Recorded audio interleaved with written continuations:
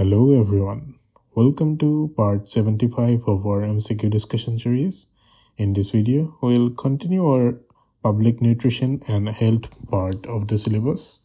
तो चलिए देखते हैं आज का पहला question Which of the following nutrients is commonly used in fortification program to prevent neural tube defects? Option A, vitamin D. Option B, folate. Option C, omega-3 fatty acids. Option D, zinc. The right option will be option B, folate. Folate को हम लोग vitamin B nine के नाम से भी जानते हैं। It is essential for foetal neural tube development ये हमने पहले भी डिटेल में डिस्कशन किया था। इसका एक डायग्राम भी मैंने आप लोगों को शो किया था। फॉलिक एसिड फोर्टिफिकेशन हमारा फ़ूड ग्रेन्स में किया जाता है, जैसे pulses wheat etcetera to prevent birth defects like spina bifida, etc. So, so let's the next question. In Global Hunger Index, GHI, which of the following indicators is not used to measure hunger? Option A, child wasting. Option B, child mortality. Option C, adult obesity. Option D, child stunting. The correct option will be option C, child obesity. ये जो global hunger index है it is publish by Concern World Wide and World Hunger Rife ये दोनों ही N है और इसमें four parameters use किया जाता है child wasting that is low weight for height child stunting that is low height for age. Child mortality that is under 5 mortality then undernutrition, the percent of population with inadequate food supply और इसमें obesity major नहीं किया जाता है तो चलिए देखते हैं next question which condition results for excessive iodine intake option A goitre option B hypothyroidism option c hyperthyroidism option d kwashiorkor the correct answer will be option c hyperthyroidism excess iodine intake करने से thyroid gland का over stimulation हो सकता है which may lead to hyperthyroidism और iodine intake कम होने से आयोडीन डेफिशिएंसी की वजह से हाइपोथायरॉयडिज्म हो सकता है। और गोइटर भी देखा जा सकता है। गोइटर मतलब जो थायराइड ग्लैंड का स्वेलिंग हो जाता है। तो चलिए देखते हैं next question Which of the following best describes the primary purpose of National Institute of Nutrition in India? Option A regulating food safety standard. Option B conducting nutrition research and setting dietary guidelines. Option C implementing school feeding programs. Option D promoting genetically modified foods. The correct answer will be option B conducting nutritional research and setting dietary guidelines ये जो national institute of nutrition है ये हैदराबाद में located है the main purpose of this premier institute is nutritional research and policy formulation इसका function में आता है development of dietary guidelines Recommended dietary allowance that is R D A R D S R जो release होता है, वो national institution of nutrition के द्वारा ही रिलीज़ किया जाता है। ये आईसीएमआर के अंदर ही आता है। और ये न्यूट्रिशनल सर्विस और इंटरवेंशन प्रोग्राम को भी आपका कॉन्डक्ट करवाता है। तो चलिए देखते हैं next question in the context of public health the double burden of malnutrition refers to option A coexistence of undernutrition and overnutrition in the same population Option B increase mortality from infectious disease and chronic diseases. Option C the combined effect of vitamins and mineral deficiency. Option D simultaneous protein energy and macronutrient malnutrition. इसका correct option होगा option A coexistence of undernutrition and overnutrition in the same population जो double burden of malnutrition होता है, ये generally developing countries में ज़्यादा देखा जाता है। इसमें both under nutrition that is stunting and wasting and obesity related diseases एक साथ देखा जाता है। इसका एग्जांपल इंडिया है where prevalence of child malnutrition and rising obesity and diabetes एक साथ देखा जाता है। तो चलिए देखते हैं next question the prevalence of anaemia is highest in which group in India option A elderly individual option B pregnant women and adolescent girls. Option c, infants under 6 months. Option D middle aged man इसका correct option होगा। Option B pregnant and adolescent girls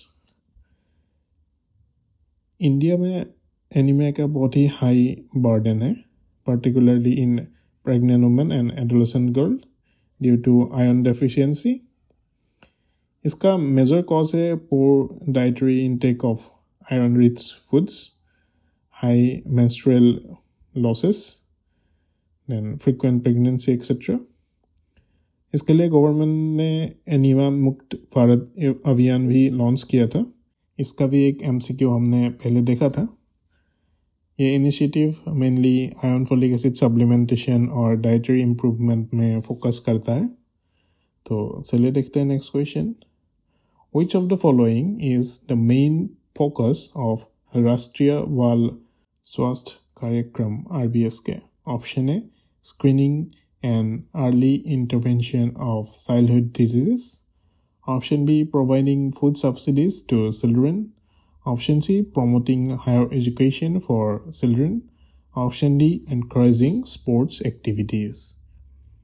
इसका correct answer होगा option है screening and early intervention of childhood diseases आप लोगों ने ये observe किया होगा स्टेट हेल्थ डिपार्टमेंट से आर का टीम विलेजेस एंड सिटीज़ में कैंप ऑर्गेनाइज करवाता है to early detection of defects and deficiency related disease and disabilities in children under eighteen years इसका की फोकस है कॉन्जेंटियल डिसऑर्डर्स को डायग्नोस करना जैसे cleft lips and palate and congenital heart defects Down syndrome spina bifida, cystic fibrosis, Tay-Sachs disease, thalassemias, etc. इसके अलावा ये malnutrition anaemia और other illness को भी डायग्नोसिस और ट्रीटमेंट करने में इम्पोर्टेंट रोल प्ले करता है तो चलिए देखते हैं next question which of the following is a key factor in the epidemiological transition observed in developing countries. Option A decrease in non communicable diseases. Option B shift from infectious to lifestyle related diseases. Option C, elimination of macronutrient deficiencies. Option D, reduction in global hunger. इसका correct option होगा option B shift from infectious to lifestyle related diseases ये epidemiological transition मतलब आपका कोई भी country developing या under develop से जब डेवलपिंग में जाता है देन डेवलपिंग से डेवलप स्टेटस में जाता है देन डिज़ीज़ का भी ट्रांजिशन होता है, जो जनरली अंडर डेवलप और डेवलपिंग नेशंस में इन्फेक्शियस डिज़ीज़ जैसे ट्यूबरकुलोसिस मलेरिया एक्सेट्रा ज़्यादा देखा जाता है। देन आपका डेवलप नेशंस में generally non communicable disease as diabetes cardiovascular disease cancer etcetera ज़्यादा देखा जाता है। Due to sensing in lifestyle urbanisation and ageing in population and better health infrastructure और सैनिटेशन प्रोग्राम्स की वजह से जो इन्फेक्शियस डिजीजेस है उसका रिडक्शन जनरली ऑब्जर्व किया जाता है तो चलिए देखते हैं next question which Indian state has the highest prevalence of stunting in children under 5 according to NFHS 5 data. Option A Kerala, option B, Maharashtra, option C, Bihar, option D, Punjab. इसका correct option होगा option C Bihar. ये जो 2000 sixteen seventeen में economic survey ने mention किया था Bimaru state नाम से। That is Bihar, Madhya Pradesh, Rajasthan and UP इसके अलावा झारखंड और छत्तीसगढ़ में भी हमें हाई स्टंटिंग रेट देखने को मिलता है। Due to poor maternal nutrition infectious diseases inadequate breast feeding और फ़ूड इनसिक्योरिटी की वजह से तो चलिए देखते हैं next question What is the primary function of dietary fiber in human nutrition? Option A enhancing protein synthesis. Option B reducing blood cholesterol levels. Option C increasing vitamin D absorption. Option D, preventing anaemia. ऐसा question भी हमने पहले भी discuss किया था। Actually कल भी ऐसा एक क्वेश्चन था जिसको मैंने डिलीट कर दिया था। तो कल भी नाइन क्वेश्चन ही हो गया था इसलिए आज मैंने ये क्वेश्चन डिलीट नहीं किया। लेकिन ये भी क्वेश्चन हमने पहले भी डिस्कस कर लिया था। इसका करेक्ट ऑप्शन होगा option B reducing blood cholesterol level soluble fibres जो होता है, ये जनरली ओट्स लेग्यूम्स ये सब में मिलता है। To cholesterol and reduces the L D L cholesterol that is low density lipoproteins और इंसोलेबल फाइबर जो हमें होल ग्रेन वेजिटेबल एक्सेट्रा में मिलता है। It improve digestion and prevents constipation ये कॉलन हेल्थ और कॉलन कैंसर को प्रिवेंट करने में भी काम आता है। तो चलिए देखते हैं next question Which of the following is a primary cause of protein energy malnutrition in children? Option A, excessive dietary fat intake. Option B, vitamin A deficiency. Option C, insufficient caloric and protein intake. Option D, high fiber consumption. इसका correct option होगा option C insufficient calorie and protein intake protein energy malnutrition जो होता है, इसमें generally to disease majorly आता है kwashiorkor और marasmus kwashiorkor generally protein deficiency की वजह से होता है और मारसमस कैलोरी और प्रोटीन दोनों का डिफिशियंसी की वजह से जनरली होता है। इसका सिम्टम्स होता है stunted coat oedema muscle wasting weakened immunity etcetera इसके रिगार्डिंग भी क्वेश्चन हमने पहले भी बहुत ही डिटेल में डिस्कस ऑलरेडी कर लिया था। तो आज का डिस्कशन में इतना ही क्वेश्चंस था। ऐसा क्वेश्चंस और भी देखने के लिए आप ये बुक परचेस कर सकते हैं। और ये टेलीग्राम चैनल आप लोग ज्वाइन कर सकते हैं टू प्रैक्टिस मोर जीके और जी एस रिलेटेड क्वेश्चन इस सेशन के रिगार्डिंग आपको कोई भी डाउट होता है तो मुझे कमेंट सेक्शन में पूछ लीजिएगा।